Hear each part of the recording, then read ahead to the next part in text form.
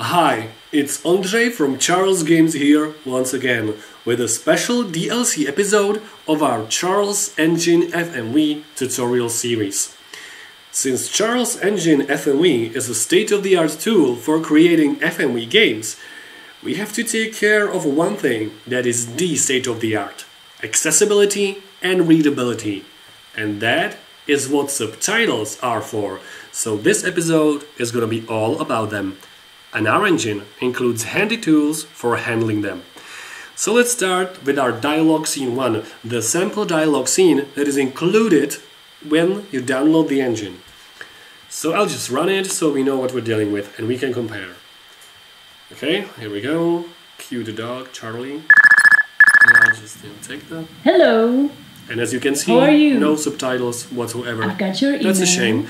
So suppose we want to, you know, translate our game by subtitles to a different language, or we just want to make sure that people on their morning commute with no headphones because they forgot them at home can still enjoy our game.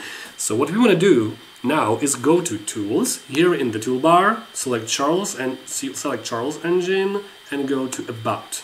And here I can easily, through Open Settings, open the object with global settings for our engine. There's a lot of stuff going on, but what I'm looking for is here, languages list. I have only one language here because I really want to be working just with English, but you can easily, you know, add your own number of languages, which would be, I don't know, if we'd want to make Russian, we'd say Aru. But this is crucial part. Each language has its own suffix. It has to be unique suffix with two characters. We're not using any standardized table here, so you can name your suffixes as you want, but you need to make sure they're unique. So for the sake of you know being uh, being straightforward, I'm gonna go with just one, and it's gonna be en for English.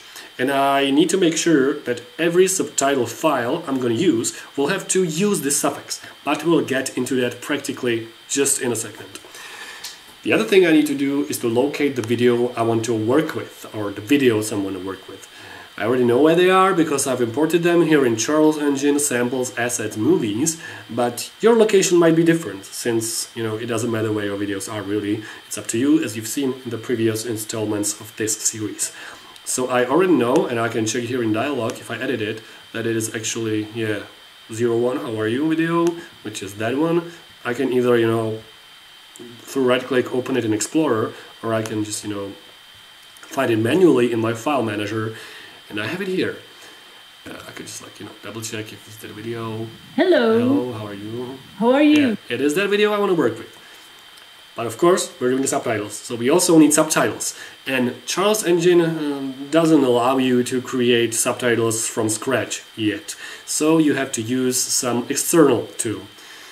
So I have done exactly that. So I have my subtitles here in like a folder that is totally apart.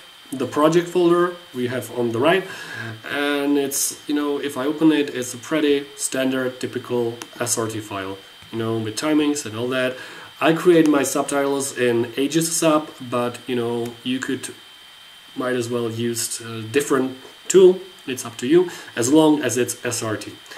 And what I want to do now is to make sure that the subtitle is named the same as the video, that the names are equal.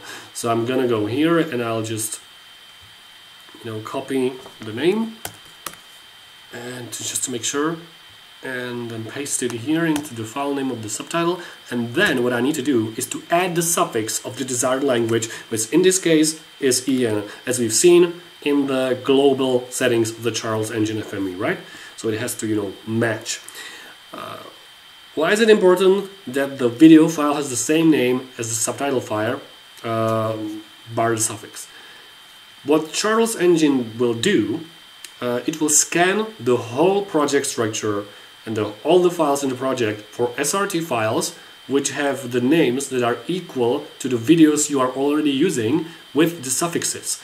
So we need to make sure it knows how to, you know, join those together. Now, I need to import the file right into the project structure here in Unity.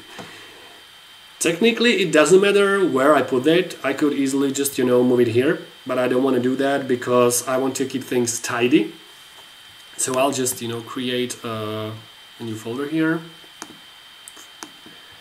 uh, sorry folder here and I'm just gonna call it you know I'm feeling a little lazy today so just like subtitles again it doesn't matter where you put it it's up to you uh, it's for your own sake. The engine just sees the list of files and like scans them all. So just like for you know for sake of the clarity.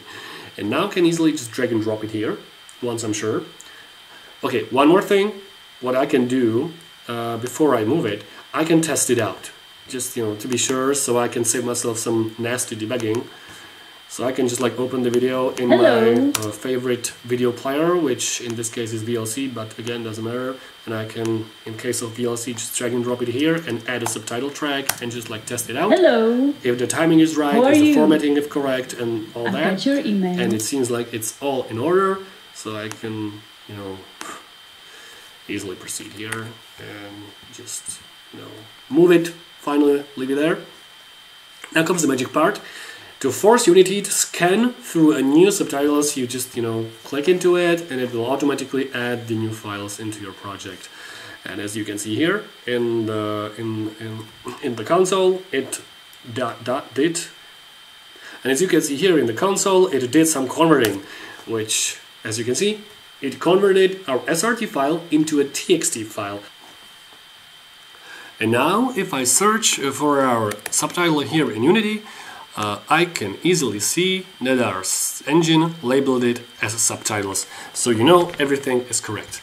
And now I can just easily launch and double check if it's working. Okay, once, feed dog. Once I take Hello. call and here How we are are, subtitles are on. I've got your email. And easily, if I press escape button on my keyboard, I can easily switch them on and off and on and off again. So this is the basic way you'd be working with subtitles, but I want to show you something a little more advanced. In Tools, Charles Engine and Subtitles window, you have four handy cards to work with subtitles, mostly in bulk. So in stats, you can see how many subtitle files you have in your project and how many in each language. We only have one in one language, but your numbers will be different, obviously. The other important thing is import and export cards. So suppose you have a big project with like 50 videos and you have them all in one language and you want to, you know, pay somebody or get somebody to translate them for you. So you don't have to send them individual files. You just use export all subtitles to export them to a single big file and you'll then send out that one and they will send out it, send it back and you can easily import it again here, import from file and you're set to go with a new language.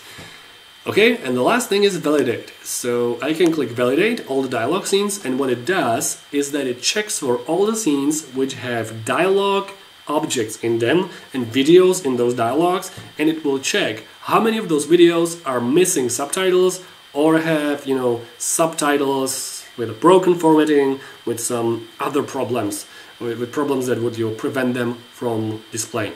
So that is a very handy tool to double check before you release or push an update or you're not sure that something's wrong with subtitles to make sure. So we've implemented that to easily to easily debug a whole subtitle situation. And that's it. That's all from me, from Andre, from Charles Games, and we're very much looking forward to seeing your subbed, now subbed, FMV projects built with Charles Engine FMV. Take care and see you around.